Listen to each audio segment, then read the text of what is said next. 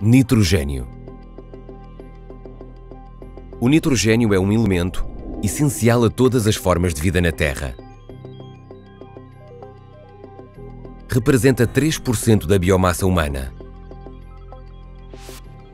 O nitrogênio é o elemento mais abundante na atmosfera terrestre, mas na forma de nitrogênio molecular gasoso, que não pode ser usado diretamente pelos animais e plantas.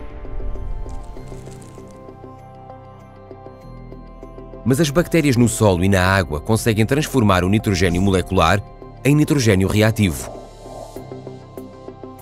que assim fica disponível para plantas e depois para animais.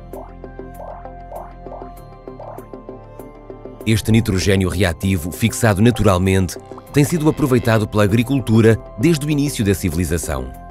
Mas nunca foi suficiente para produzir alimento para toda a humanidade. A partir de 1910, foi possível transformar o nitrogênio molecular em nitrogênio reativo e produzir fertilizantes para a agricultura. Os fertilizantes asseguram a sobrevivência de metade da população mundial.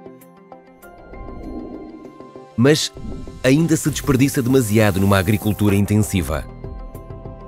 Por exemplo, por cada 100 moléculas de nitrogênio reativo produzido, só se aplicam 94 às culturas, Destas, só 47 são usadas pelas plantas, mas só 31 são colhidas. E apenas 26 são convertidas em alimento.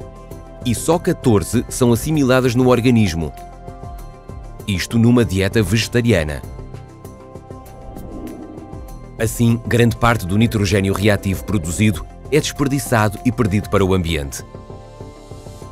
Além disso, a combustão nos diferentes meios de transporte e na produção de energia adicionam mais nitrogênio reativo ao ambiente, causando importantes impactos ambientais.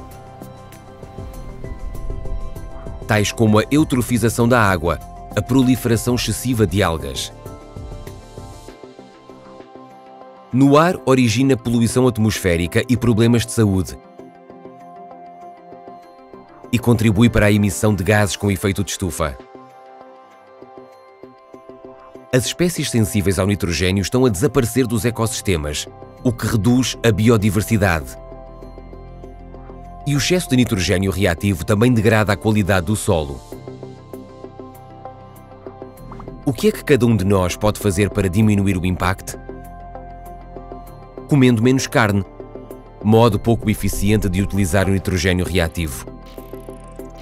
Assimilam-se apenas 4 das 100 moléculas produzidas, e já se come mais proteína animal do que a recomendada. Mas apenas 0,6 dos 4% de proteína vegetal recomendados.